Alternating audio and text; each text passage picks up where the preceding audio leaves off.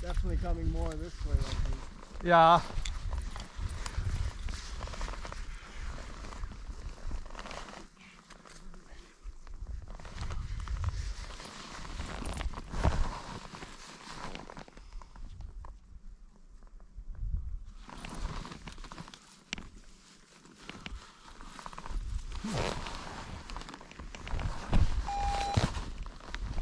might just go for it. Go for it.